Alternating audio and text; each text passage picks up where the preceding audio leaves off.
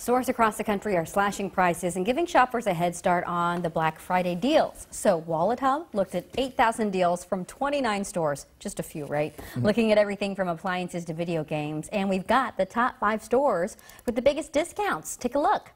Do you know the store Stage? Mm-hmm. Well, Stage offers nearly 70% off. Belk has an average discount of about 67% off. And Bealls, Florida is almost 63% off. Now, you know, you're not going to find those top three stores in Washington state, but of course you can take advantage of those prices online via the store's websites.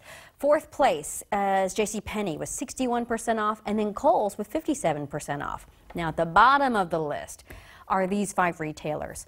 Amazon, average discounts are at 25%. Harbor Freight at 23. Costco is 21%, but this number really could be deceiving because depending on what you buy, you could already be paying right. low prices.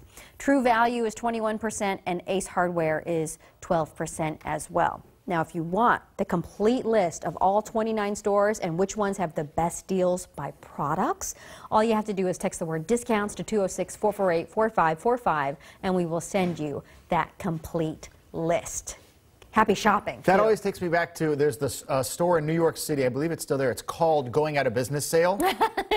so it's up 365 days a year, and you're always like, oh yeah, except people who live there know the. Oh, that trick. The trick, right.